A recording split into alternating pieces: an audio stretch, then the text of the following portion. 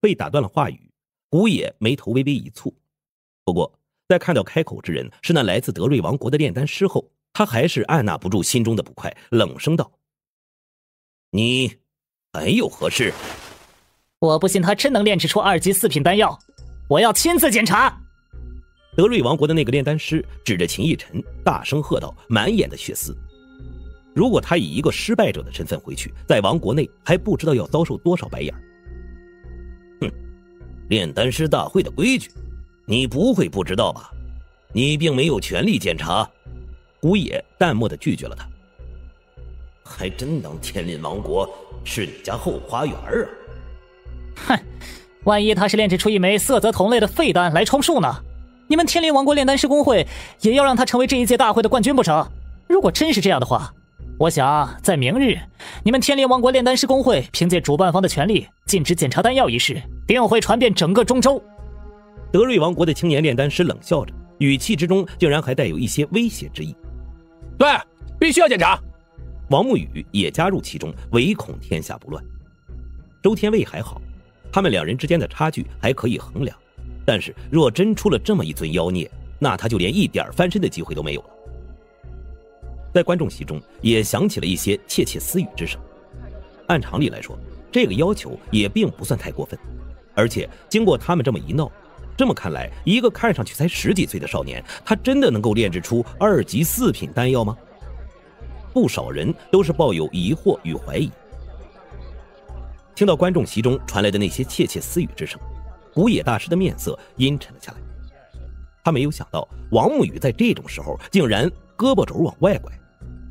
他大有深意地瞥了不远处王家家主王成一眼。王沐雨这种行为，就算是说他叛国也不足为过呀。所以此时王成的面色也是不好看。若真如此，让德瑞王国拿去了冠军，那王氏只怕会因此疏远王家，甚至……他冷汗淋漓，不敢想下去了，因为这个时候，秦逸尘代表的不仅仅只是他个人，而是整个天林王国。顾野会长，既然他要检查，那便由他检查吧。不过，我有个小小的要求。秦逸尘倒是面不改色，在古野左右为难的时候，他却朗声说道：“你说。”德瑞王国的炼丹师眼睛一亮。听到他如此爽快的回答，秦逸尘嘴角勾起了一抹善意的笑容。只不过，若是叶良辰或者舒心等人看到这笑容，定然会知道又有人要被算计了。若是这丹药真有问题，我秦逸尘当场自刎。秦逸尘的目光扫过全场，他那坚定的声音也是响彻在每个人的耳中。听到这话，无数人都是动容了起来。那样最好。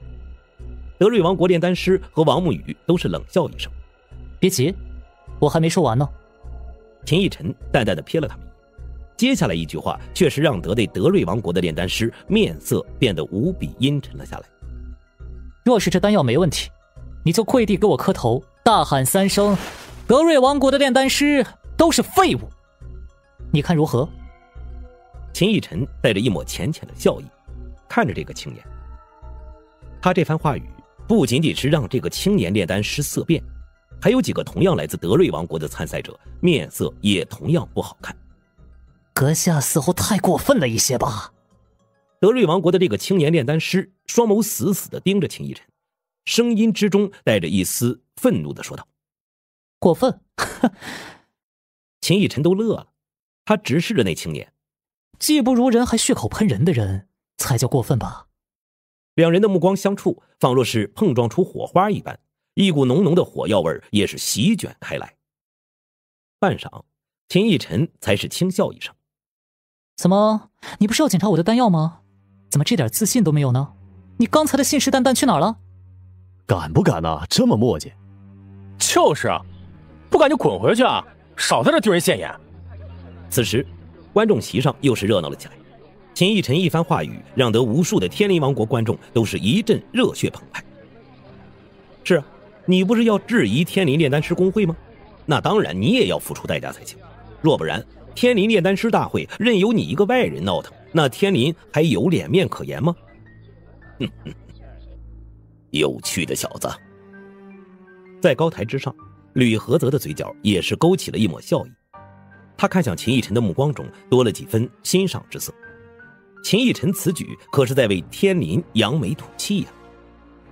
满场的喧哗之中，有着不少不加掩饰的嘲讽讥笑，让得德瑞王国的那个青年炼丹师面色青白变化不定。故意来唬我吗？看着那带着笑意的秦逸晨，他眸光闪烁不定。哼，二级四品丹药，就算是老师要炼制也很吃力。天林这种垃圾之地，怎么可能会出现如此人物？这作假也做得太夸张了。想来是故意想让我直接放弃比赛，从而抢夺冠军。秦逸晨的表现的确太不真实了。三分钟内就炼制出二级四品丹药，就算是他老师或者古野大师这种人物也做不到。他心绪飞转着，在一想到自己的身份，他朝着某个方向看了一眼后，便是放下心来。下一刻，他点了点头，答应了下来。见他答应下来后，众人才是缓缓的安静了下来。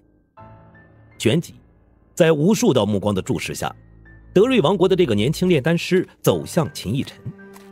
随后，他从检测人员手中将蓄积丹接了过来之后，便是利用精神力的感知，探测着这丹药的品阶以及是否有缺陷。啊！在稍稍探测了一番之后，他的面色便是陡然一变，眼眸内闪过一抹不可思议的神色。旋即，他的精神力倾泻而出。将这枚丹药仔仔细细的再次查探了一遍，就差一点没有将其掰开了。这，这怎么可能呢？他他才这么大一点年纪，就算打娘胎里开始炼药，也不可能炼制出如此完美的丹药啊！看着手中这颗圆润、药香四溢的丹药，经过不知道多少次探测后，德瑞王国的这个青年炼丹师面如死灰，他口中喃喃说着，双眸之内一片震撼。喂，看的怎么样了？就在这时，秦逸晨带着一丝不耐烦的声音在他耳边响起，让得他身躯一颤，回过神来。再回过神来后，他有些茫然：“不是说天灵王国炼丹师都是废物吗？怎么完全不是这回事啊？”由此，他几乎已经可以推断得出，眼前这个少年精神力造诣绝对已经超过了入门境界。入戏，那是他老师都要仰望的境界呀。他极度不愿意相信，但是眼前这丹药却绝对做不了假。就算这来自德瑞王国的年轻炼丹师不说话，但是他脸上的神色却在说明这丹药没有问题。若这丹药真有哪怕一丝一毫的问题，他就闹腾起来了，这点是毋庸置疑的。这怎么可能会没问题呢？在旁边青石平台上的王沐雨一时没有忍住，脱口喝道。在他声音刚发出的一瞬间，便是被高台上的几道视线给盯着，其中一道甚至是来自他父亲王成的。他咬着牙，很不甘心，但是他却也知道，现在再闹的话，那他恐怕会被无数人的口水给淹死。哈哈，我们天理王国的炼丹师怎么可能会舞弊？就是，我记得在第一轮那几个想作弊蒙混过关的，就有他们德瑞王国的吧？以小人之心夺君子之腹。还以为我们天灵的炼丹师都像他们德瑞王国那般不堪吗？难怪他竟然能够站在属于周天威的石台上，果然是有真本事。顿时，整个广场上喧哗四起，一个个都觉扬眉吐气。